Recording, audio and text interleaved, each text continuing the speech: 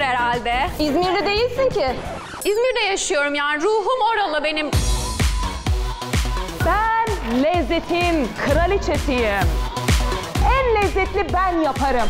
Hüsniye Hanım Hatice'nin taklidini yapıyor. Hatice'yi bir tık daha zirveye taşıyor. sana anılarını yaşatabildim mi? Olmamış, sana olmamış. Sen Hatice'nin söylediklerine bakma. Ben güzeli severim. Gelinin Mutfak'ta yeni bölümüyle pazartesi günü Kanal D'de.